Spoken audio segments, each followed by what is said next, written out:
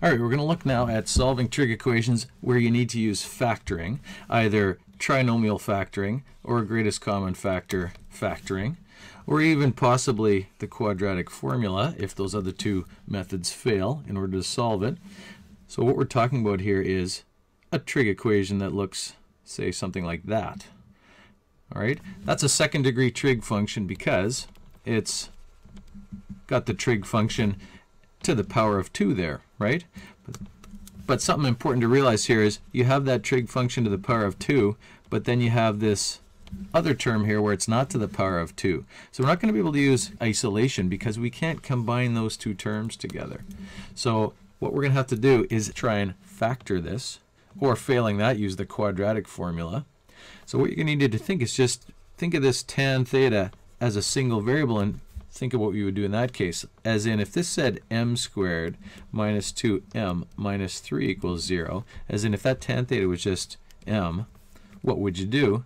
Well, you'd probably try and factor it, and you'd write something like m there, m there. Needs to be equal to 0 on the other side. Doesn't work if it's not equal to 0. You can't use this principle of factoring.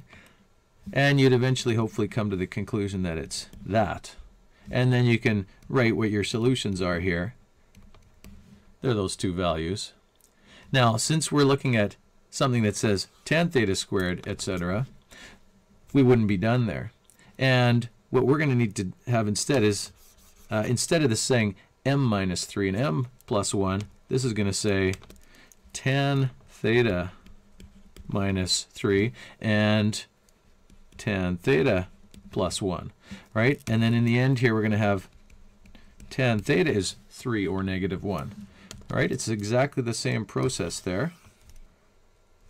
Now at this point, then we're gonna we're gonna need to split this apart and say we're not done because we need to actually find what those uh, values of theta are. We have tan theta equals 3 or tan theta equals negative 1. To find those values, let's tackle one of them at a time here. Let's do this one first, this half of it here. We're looking at here where tangent is positive. So that's going to give us two angles, one in quadrant 1 and one in quadrant 3. Let's uh, move this out of the way here first. And one in quadrant 3. Now, let's keep this color coded here too, maybe so we can see the difference. So those other ones, now this is where tangent is negative right? We're looking where tangent is going to be negative in quadrant 2 and 4. Now these, I maybe have looks like I've drawn them with the same reference angle, but it's important to realize they're going to have different reference angles. So we're going to find them separately here. Let's let's uh, find this one first. That 3 looks like it might be in one of those special triangles. You have a special triangle that's, you know, 1, root 3, and 2, but it's important to realize this is root 3 it's not 3. You can't get tangent of 3 out of that triangle, nor can you get it out of the other triangle. So we're going to have to resort to the calculator here and find the reference angle by using that tan inverse function of 3, and then using that reference angle to find our two angles. That reference angle, let's get the calculator here and find it. Make sure it's in radian mode. And then we want to now do tan inverse of 3. See what it gives us. 1.25 if you're rounding it off to two decimal places. And that's our first angle too, right? This is roughly 1.25. Since it's in quadrant 1, that's one of our two angles. So I'm going to say theta 1 is roughly 1.25. Theta 2 here is going to be quadrant 3, and it's going to be pi plus that reference angle. So let's go back to our calculator and do that now. So we want now pi plus that answer we just got, 4.39. So roughly 4.39. Those are our first two solutions. To find our other two, we got to look at now at this other factor that we had, right? This actually tangent is negative 1. When tangent is negative 1, you should recognize that that is, a tangent being 1 is one of those special triangles because a tangent being 1 means the opposite and the adjacent are the same. If those are the same, then that tangent is 1, right? Opposite over adjacent. That's that 1, 1, root 2 triangle, 45 degrees. 45 degrees is where the tangent is 1. So when you want when the tangent's negative 1, 45 degrees, or pi over 4, is going to be the reference angle. Pi over 4 the reference angle, and then you find your two angles. You want to find that one and that one using that reference angle. So our, you know, theta 3 is going to be pi minus your quadrant 2, so pi minus the reference angle, so 3 pi over 4. And the fourth angle in quadrant 4 over here is going to be 2 pi minus the reference angle, so 7 pi over 4.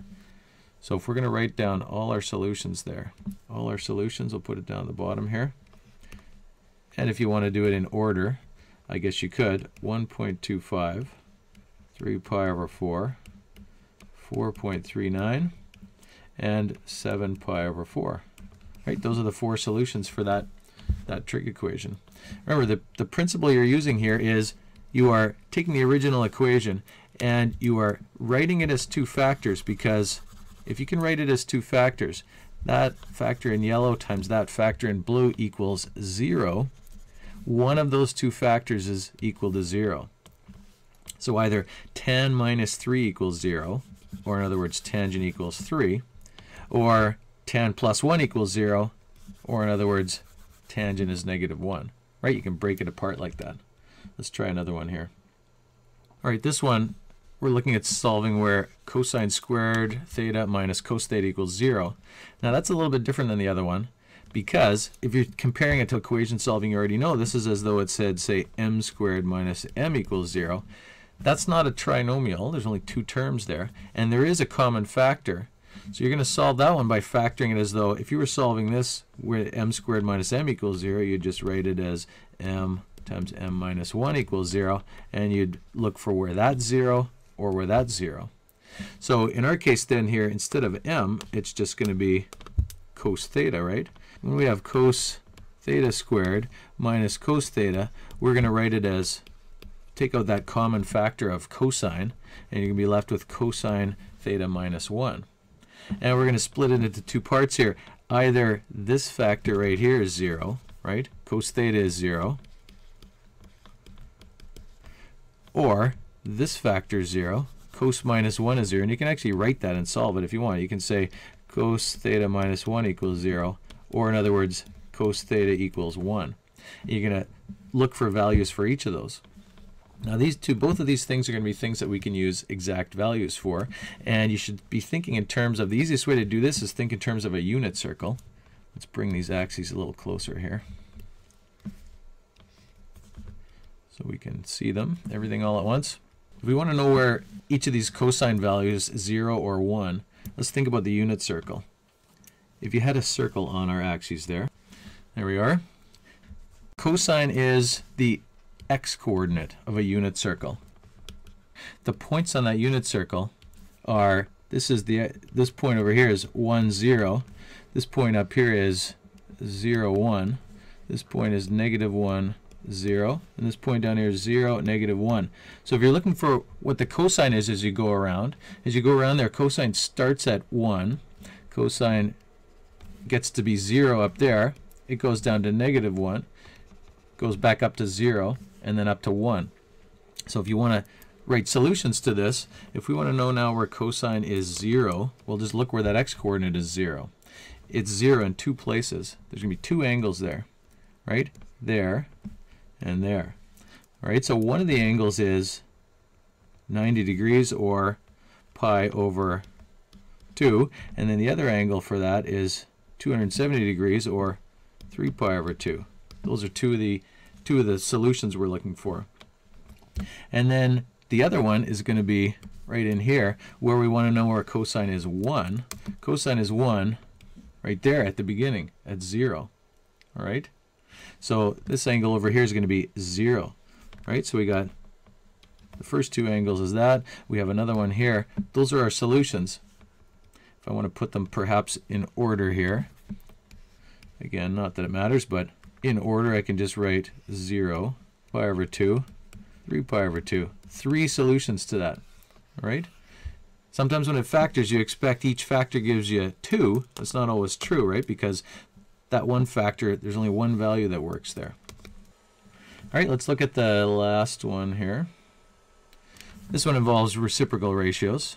But this is a trinomial again here because we've got 3 cosecant squared plus 5 cosecant minus 2. Right? There's three terms there. We got degree 2 term, degree 1 term, degree 0, just a constant on the end there.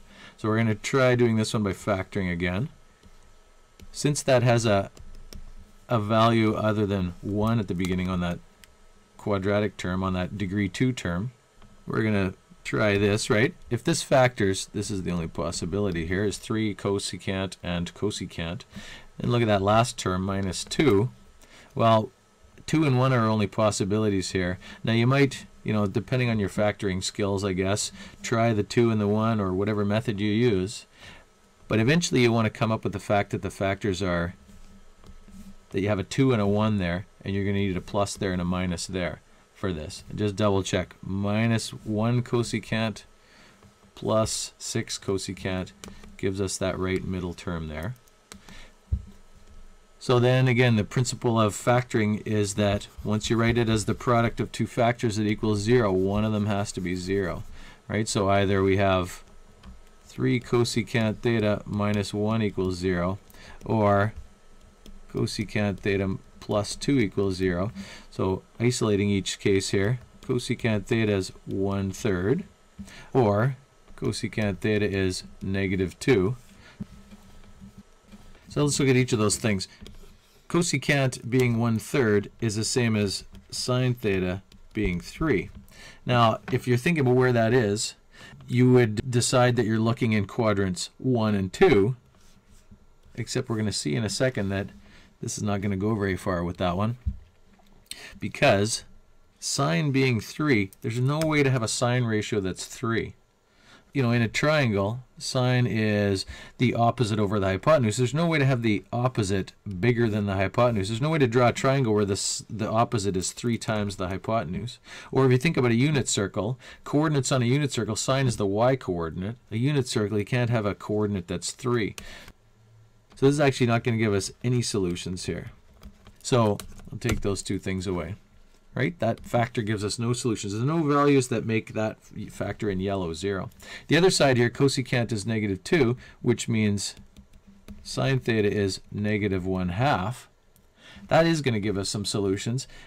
Sine being negative, that's in quadrant 3 and 4. Sine being a half, that is one of those special ratios that we should think about here. Sine being a half is going to be, there's a 1, there's a 2 it's going to be this smaller angle.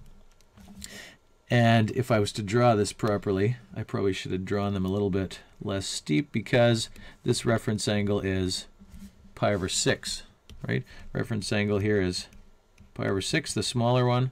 That is not one of the solutions though because we're looking at pi plus pi over 6 and that 2 pi minus pi over 6.